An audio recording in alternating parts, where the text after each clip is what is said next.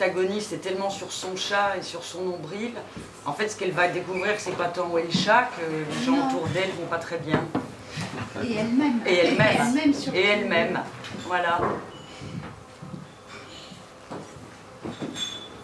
Alors, est-ce que le point de départ, c'est le chat Oui. Ou c'est elle? Bah, on va dire que la disparition du chat, c'est le pitch et l'élément déclencheur. Hmm. Et que le thème du film, c'est euh, une génération de gens de 50 ans qui ne se reconnaissent pas très bien euh, dans cette société qui a beaucoup changé, plus en 10 ans qu'en 50.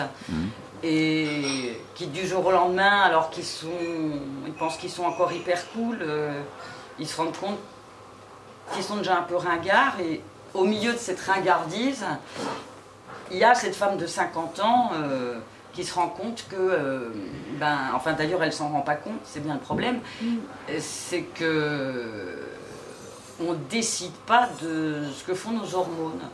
Et dans une société euh, où on nous explique qu'on peut faire ce qu'on veut, qu'on doit faire des choix, on est dans le développement personnel pour être heureux à tous les instants. euh, euh, du jour et de la nuit et on peut faire des reconversions en tout genre, ben, pour une femme, il y a un moment où euh, on ne décide rien du tout et la société nous le fait bien sentir.